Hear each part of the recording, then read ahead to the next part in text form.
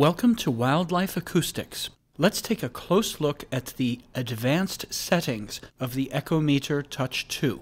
Open Echo Meter and choose Advanced Settings from the side panel. These settings allow you to customize the behavior of Echo Meter. In general, the default settings are a good place to start. If you ever need to reset Echo Meter to its default settings, go to the side panel and click on Information. Scroll down and tap Restore Defaults.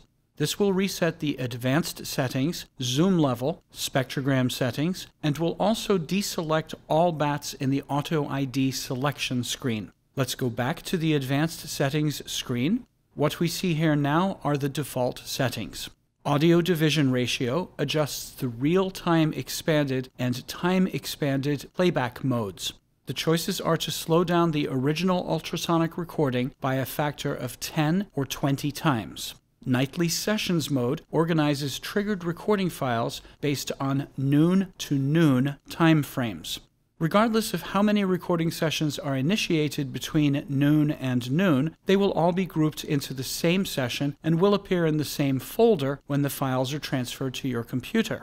If nightly sessions mode is turned off, triggered recordings will be grouped per recording session. Recording files with no detected bats are tagged as noise. Save noise files sets whether recording files with no detected bats are saved or automatically deleted. Real-time Auto ID sets whether Echo Meter will run Auto ID detection on a recording as soon as the recording is stopped. If real-time Auto ID is disabled, it is still possible to manually tag the recording or run an Auto ID analysis at a later time. Auto ID sensitivity provides three levels of confidence in the Auto ID result. The sensitive setting will provide the most BAT auto IDs, but possibly with lower overall accuracy. The accurate setting will be more selective about species identification and may result in a fewer number of auto IDs. Balanced is in between the two sensitivity levels. Trigger sensitivity sets the threshold at which a recording will be triggered. A setting of high will maximize trigger sensitivity and could result in more noise files where no actual bat has been detected. Lower settings will only trigger recordings based on stronger input signals.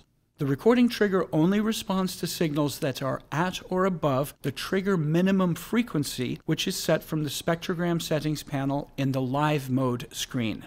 Trigger window sets the time Echo Meter will continue recording after the last detected echolocation call. The range is 1 to 15 seconds. If the trigger window time is set too low, the recording may be ended before the entire bat pass has been captured. Record time is also limited to the max trigger length setting. Max trigger length determines the maximum possible length of a triggered recording regardless of the trigger window setting. The available range is 1 to 60 seconds. The last two settings are only available for the Pro version of the ultrasonic module. The standard ultrasonic module does not have adjustable gain and is fixed at 256 kHz sample rate. Gain provides three audio input level sensitivity settings for the Pro ultrasonic module. A setting of high is the most sensitive and will pick up distant or quiet bats. Medium and low are appropriate for when bats are close or loud. The waveform display in the live mode screen is useful for checking audio input levels. The last setting is sample rate. The standard ultrasonic module is fixed at a sample rate of 256 kHz, which can detect audio signals up to 128 kHz in frequency. This is sufficient for North American and European bats. A sample rate setting of 384 kHz allows the Pro ultrasonic module to detect audio signals up to 192 kHz in frequency. The higher sample rate will use more storage space for the record files as compared to the lower sample rate. Now we've looked at the advanced settings for the Echo Meter Touch 2.